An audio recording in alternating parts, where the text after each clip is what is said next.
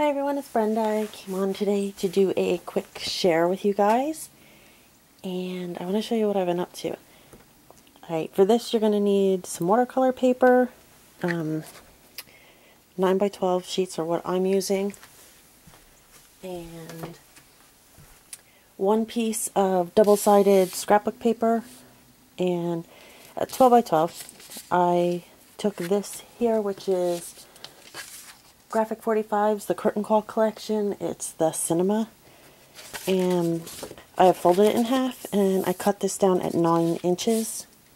So all that you're losing is this much. If you don't want to lose it, you can just score at 9 inches and fold it inside. Okay? Um, personally, I didn't want the bulk from that. So You'll need that. I did six pieces of the watercolor paper and folded it on the 12 inch side so it comes down to a 6 inch. It took six pages. And you're going to need a cutting mat, your X-Acto, or you'll see. You might want, you could use a guillotine trimmer if you rather. A tack, um, which we all have those push pins, I'm sure. A ruler, a good metal straight edge, and um, some binder clips, two staples. I made this book, which is out of the Graphic 45 paper too. This is Curtain Call as well, and this is the All That Jazz paper. And what it is, is a watercolor sketchbook. So you're making it personalized, making it tiny. And I'm going to show you how to do it without killing your stapler.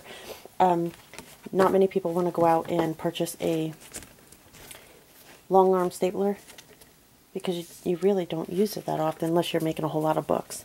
But I don't use it that often. So what I did is I took six color uh, six pages of watercolor paper and put them together in a signature. And I'm going to put binder clips just to keep them in place and keep them um, all together so this way they stay flat in a book and they're all pushed up against this corner. See how they're all in the 90 degree bend? Okay, so you want to put the four on. That This is like detrimental because the paper will shift. Okay, sorry, this is really hard to do this behind the camera. And what I'm going to do is I'm actually going to put the cover on this too, but I wanted you to see how they go on, so I'm going to do that off camera um, but this is so you can make, you know, a sketchbook um, to keep you on the go, and you can kind of do it all in one step without having to make your signatures and then put it on and then, you know, make your next signature, sew it in, or even when um, you use a stapler sometimes they don't align very well, but see how the cover is right in the corner? That's how you want to make sure that that's pushed in here.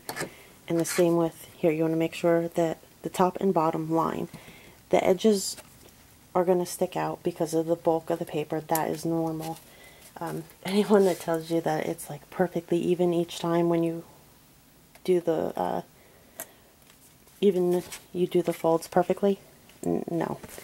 See, when you close it, you're always going to have this, but that's what the straight edge and the X-Acto is for. We're going to trim this off and make it all even later. Okay. Now comes the fun part. This is where we normally struggle and, you know, flip open your um, stapler and kill it by jamming it and wasting staples and using so many.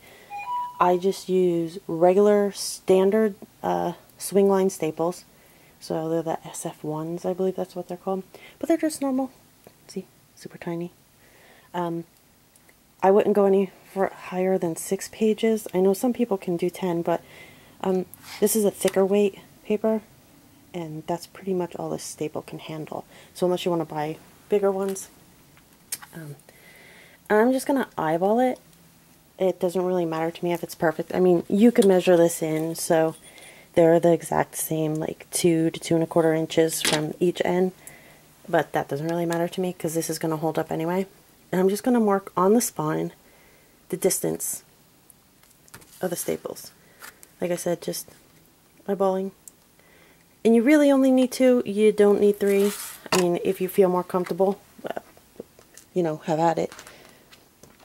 Then what you're going to do is take your safety pin, which, well, your tack, which actually has a handle on it for you, and you're going to just push it through all the layers.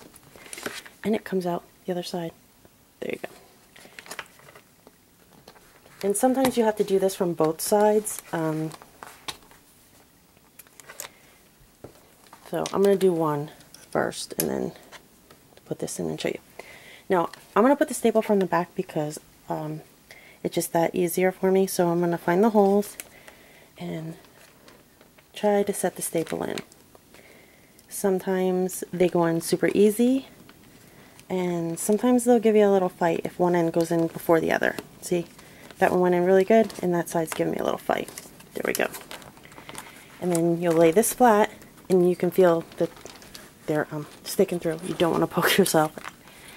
And this is where I use my metal ruler. I flip it over so the cork slides out. And I'm going to just push in to fold that in. And then I'm going to spin this around because it's easier to get at that way.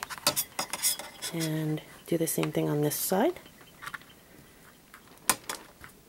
And there's one staple in. So now we'll do the other side here and push with the tack through.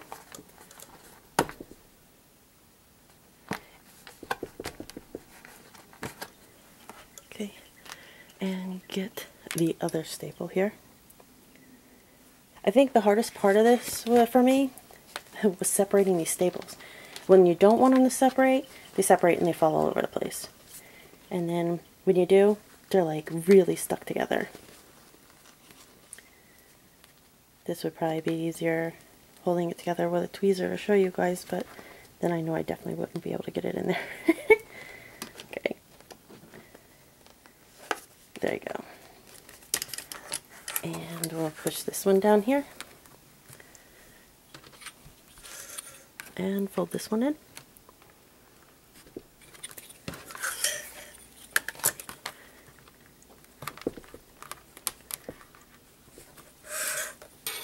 And now we can take our binder clips off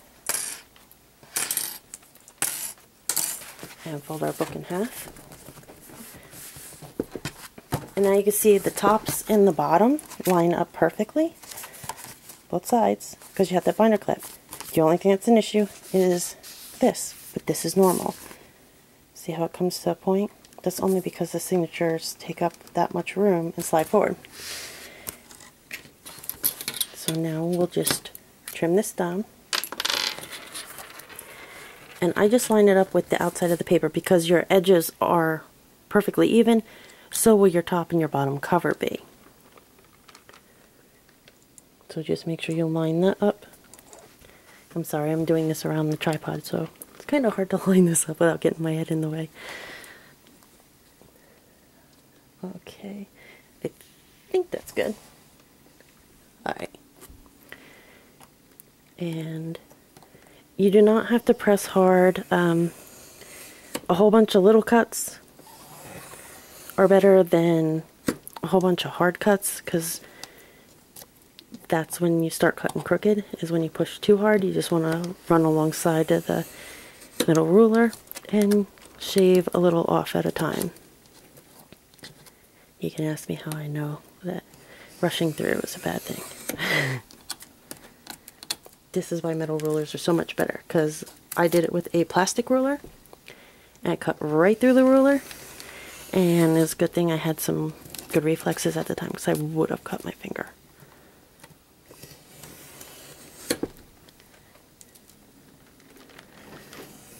Like I say, just keep making the small cuts.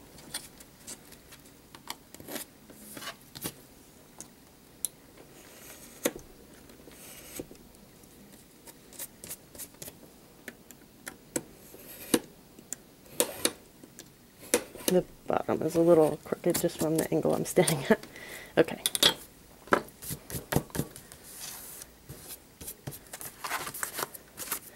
And there you see.